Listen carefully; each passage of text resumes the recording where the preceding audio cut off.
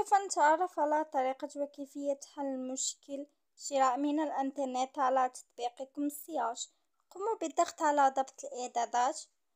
سوف نضغط على التطبيقات ومن ثم سوف نقوم بالضغط على سياج خاص بكم. سوف نضغط على إيقاف الإجباري. سوف نضغط على الموافقة.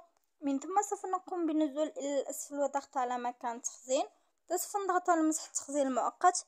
ومن ثم سوف نقوم بإيقاف إعادة تشغيل الواي فاي خاص بكم. بعدها سوف نقوم بالذهاب إلى متجر جوجل.